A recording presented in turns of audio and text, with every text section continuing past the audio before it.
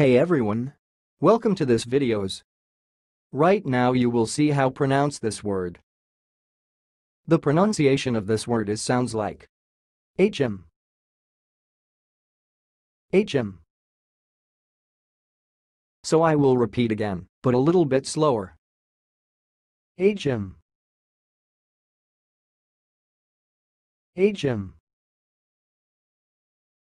That's all, thanks for watching. If you liked this video, please subscribe to my channel. If you want to share your opinion, please leave comment for this video. Thanks and goodbye.